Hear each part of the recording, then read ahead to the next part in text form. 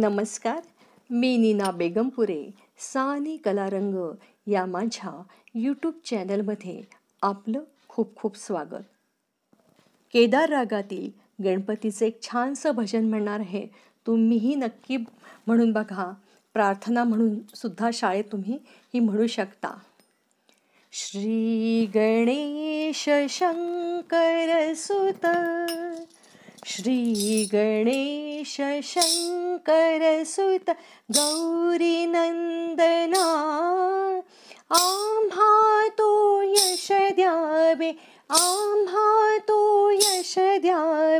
हीच प्रार्थना। श्री गणेश शंकर सुत इक्षुदंड परचाप शोभतो करे वक्रतुंड एकदंत चंद्रमाशिरे इक्षुदंड परचाप शोभतो करे। वक्रतुंड एकदंत चंद्रमाशिरे लंबोदर हे गजानना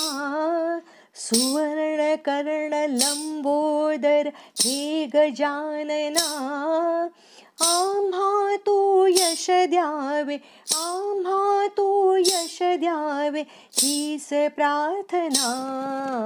श्री गणेश शंकर सुत दुर्वांकुर बाहुनिया आज तुझ प्रती मोदक दश शतक आणि प्रेमे अर्पिते।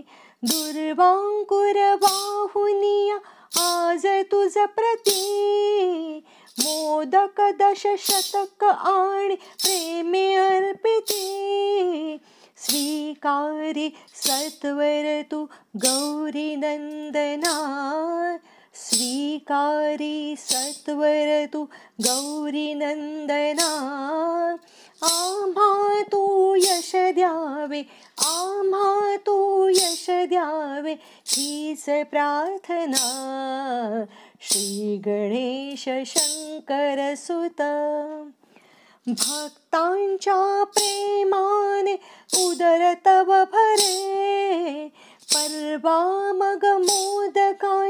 तव मुळी उरे भक्तांच्या प्रेमाने उदर तव भरे परवा तव मोदकांची नामुळी उरे देतो मी तव प्रसाद भक्तगणाना देतो मी तव प्रसाद भक्तगणाना आम्हा तू यश द्यावे, आम्हा तू यश द्यावे हीच प्रार्थना। श्री गणेश शंकर सुत, श्री गणेश शंकर सुत, श्री गणेश शंकर सुत। आजमची तू गणराया विघ्न निवारून घ्यावी पूजा. आजमची तू गणराजा विघ्न निवारून घ्यावी पूजा. विघ्न निवारून घ्यावी पूजा. विघ्न निवारून घ्यावी पूजा.